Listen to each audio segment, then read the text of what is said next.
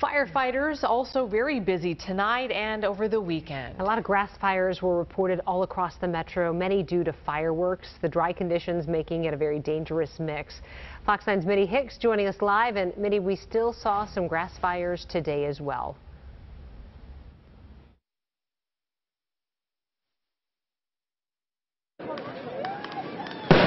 Within a span of possibly like two hours, they responded to about 40 to 50 grass fires.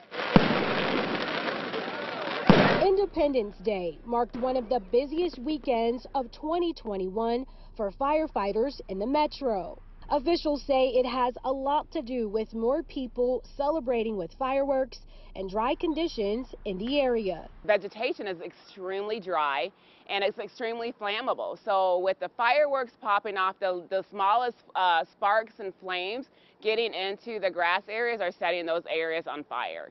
And in St. Paul, fire crews seeing a more than 43% increase in grass fires compared to this time last year. Uh, we have seen an increase in um, runs involving uh, outside trash receptacles, uh, wildland areas, grass areas. So really any of those outside areas, um, and a lot of those can be attributed to uh, fireworks.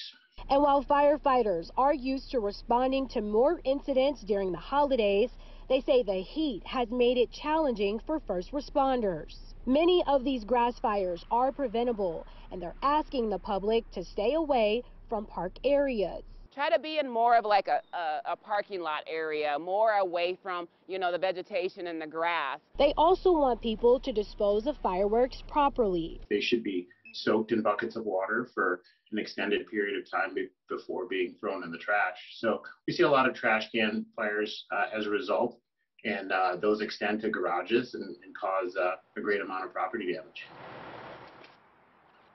And fire crews are responding to a lot of heat related incidents as well and urging the public to stay hydrated and cool whenever possible. Live in Minneapolis, Mitty Hicks, Fox 9.